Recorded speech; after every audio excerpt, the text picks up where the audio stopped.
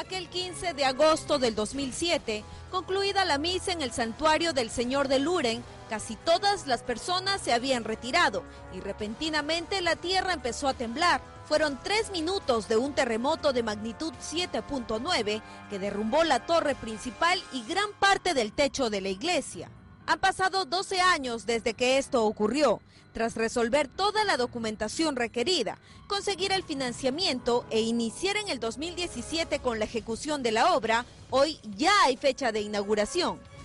Comenzó la cuenta regresiva. El 14 de junio, el señor de Luren regresará a su templo en una ceremonia privada, pero será el 15 en una ceremonia especial en que los fieles podrán ver al patrono de Ica nuevamente en su casa tal como lo escuchó. Es el 14 de junio la fecha elegida para reabrir las puertas de este templo.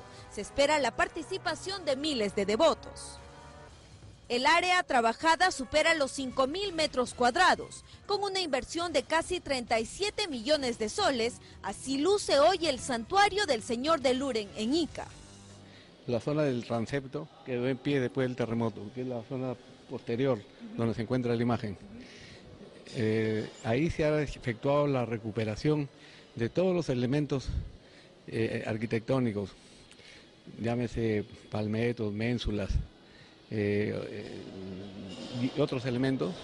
Se ha sacado unos moldes para volver a hacerlos, ¿no? Se ha probado con el método del estaco. Se han, este, se han vuelto a hacer nuevamente para ser instalados en la construcción nueva que se ha hecho. La nueva edificación mantiene las mismas características arquitectónicas antes del terremoto. Además, hay alrededor de 14 imágenes artísticas de santos que regresarán al nuevo templo. Tres días durarán las actividades por la inauguración.